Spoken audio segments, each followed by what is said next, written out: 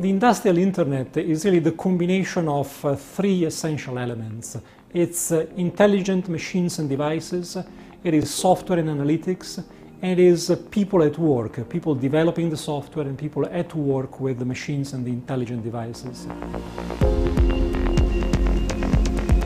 The industrial internet is set to unleash a new productivity revolution and so accelerate economic growth, lead to higher welfare standards, higher living standards, greater incomes, more jobs in the US and across the world.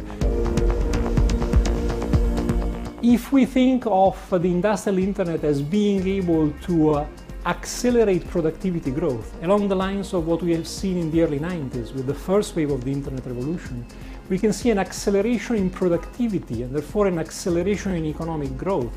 of somewhere between 1.5 and 2 percentage points. Once these gains extend, even at a lower pace, to the global economy, it could create an additional $15 trillion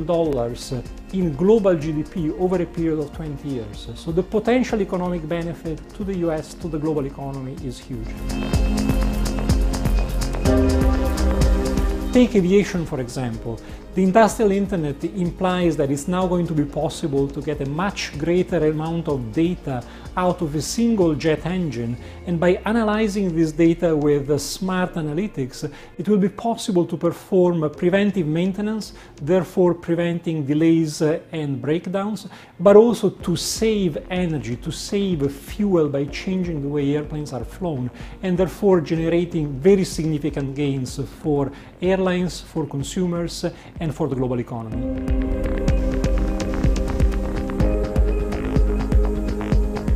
We strongly believe that the industrial internet is the second wave of the internet evolution, so a revolution which has already transformed the consumer environment is now beginning to spread to the industrial environment thanks to a rapid decline in the cost of sensors and in the cost of data storage and computing. And this is what will make it truly transformational with the potential in terms of changing our lives and changing the way in which the economy grows that is fully comparable to the original industrial revolution.